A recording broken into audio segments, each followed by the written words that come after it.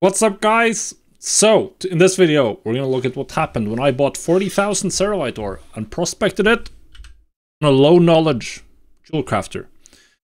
Is prospecting good? That's what we want to find out, right? So what did I do? Well, I have this, um, this jewel crafting alt. It has skill 80. I have very crappy green uh, quality um, tools for the most part. I have not an optimized build for this, not even for this specific method, which we'll get into later. Um, I have, well, 55 plus another um, 25 here. Um, so 70 knowledge, which is not uh, not optimized. That's uh, the truth of it, and uh, not something that I've spent uh, a whole lot of time on this character. So we, I think we are just barely into respected, which means we're still don't have valued, don't have any renowned knowledge. We just have first crafts, one-time treasures, and a couple of weekly quests. Uh, but uh, as we can see here, I've not done the go out and kill weeklies this week, because we are. Um, so the point here is obviously to find something that can hopefully make gold without having to put in a huge amount of effort on this specific character. That's what we want build. Um, so yeah, now, I don't have the right build for this. The actual right build for this is probably to go max inspiration, max brilliant bobbling, um, and go just 10% in this, or 10 points in this base node, 25% here, 10 points here, and then max out brilliant bobbling.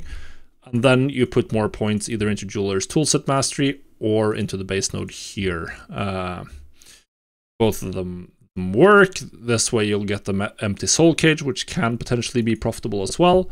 Uh, this is going to give you more generic bonuses, and of course, it's also going to give you access to to this node, which is going to be very very useful, more resourcefulness. Um, so um, so I'd probably go for just 10 points into enterprising, 25 points prospecting, 20 10 points here, 30 points here, and then another 10 points here to start putting points into resourcefulness. As long as you that makes you reach the um, the threshold where you're guaranteeing quality 2 and inspiration proxy is going to give you a quality 3.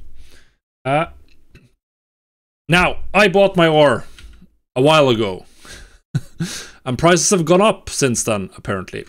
Uh, so as we can see here, my average purchase price is about 10 gold for all of these 49,000 that I bought. The 40,000 that I bought for this specific session of prospecting cost me 330,000 gold which is a lot less than what it, what it would have at current prices. There's just no way around that. Sadly, I spent too much time prospecting and, and went up in value. Uh, so I spent 337,000. If I bought these at current market value, it would cost me 53,537,000.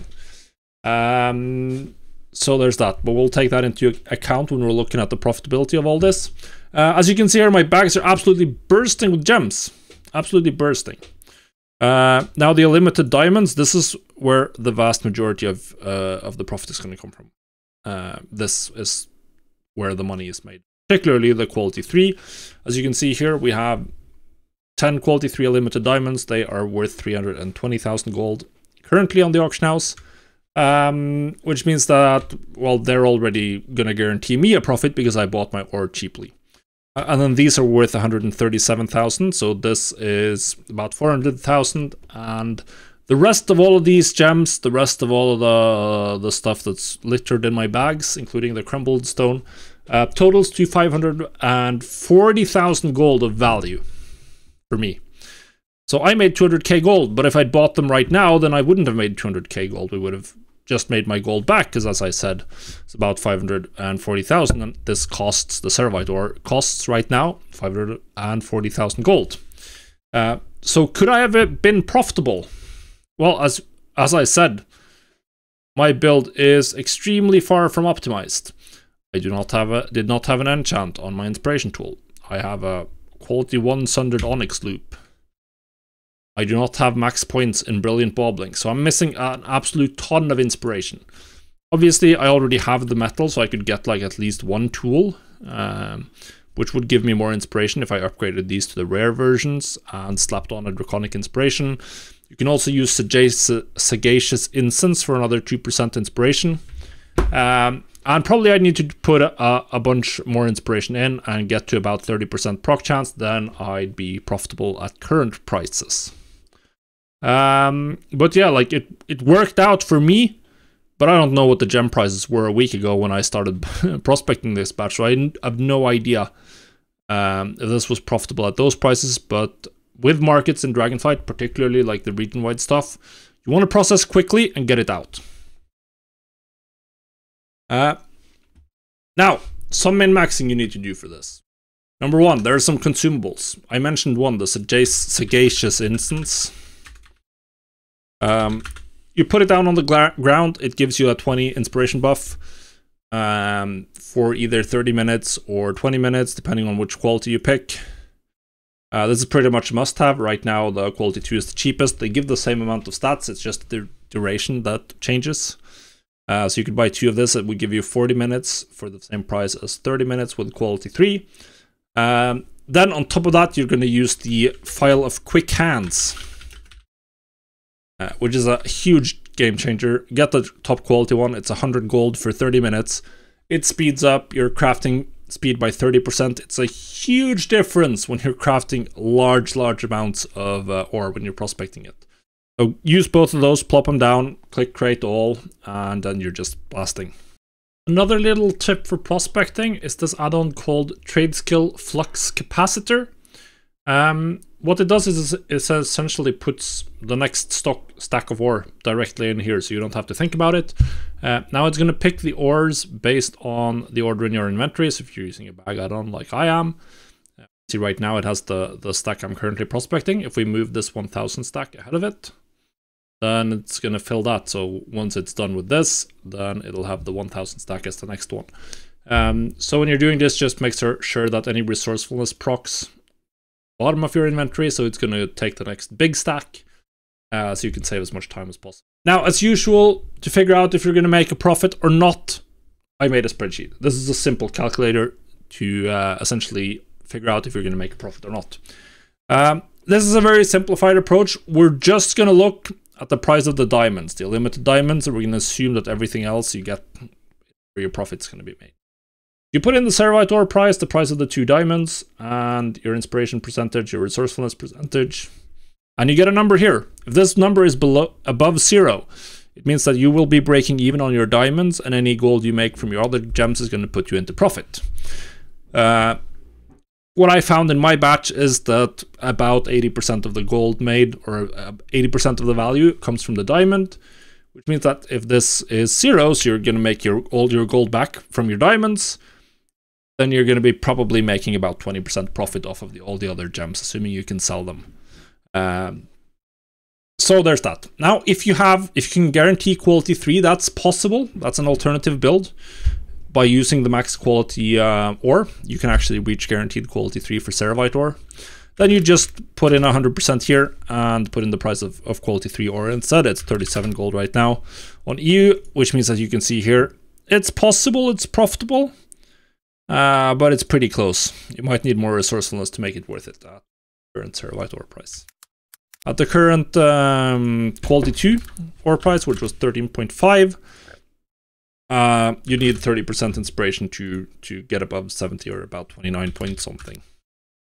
29.8, something like that. Uh, interesting to note here as well is that the small changes in Serevite ore price is going to have a huge effect. That's what happens if I just put this down to 13. My profit changes very significant margin. Um, and we can now get away with like we can now get away with 28.3 uh, inspiration, 2% lower and still be profitable just by decreasing the price of one Serevite ore by 50 silver. Uh, so this is something where you definitely need to be very, very aware of your material cost um, at all times because that's going to have an, a huge effect on your profitability. Uh, now, I some things I did not take into account at all. That's that you can do other things with your gems and just sell the raw gems. Um, you can crush them, which can be profitable uh, by turning it into into quality three gem dust. This is something that that can be profitable. Uh, I'm not on the math on that absolutely at all. Um, there's also obviously a bunch of intermediate materials that you may or may not be able to use your gems for.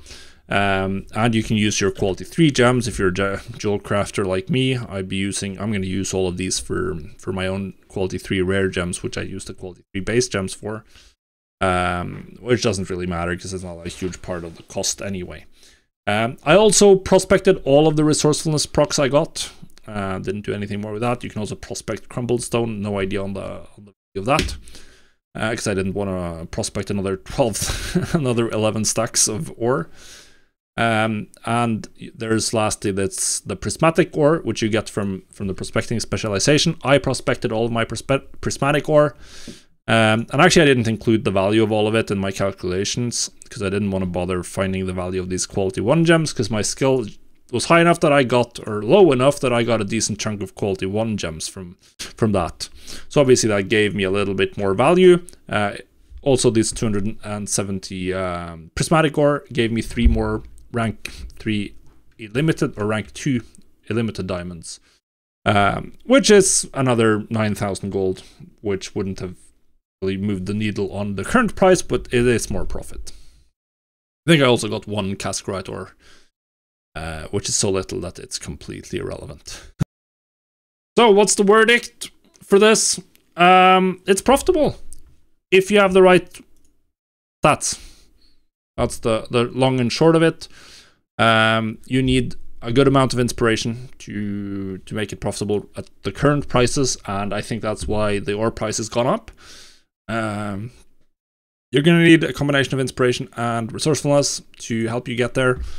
But if you can reach about 30% inspiration right now on EU, then this is profitable, um, which is probably doable at like 75, 70 knowledge, uh, which you can reach without having to farm for any of the renown bonuses uh, or reaching valued with the Artisans Consortium, uh, which means that you can you can get this fairly quickly on a new alt.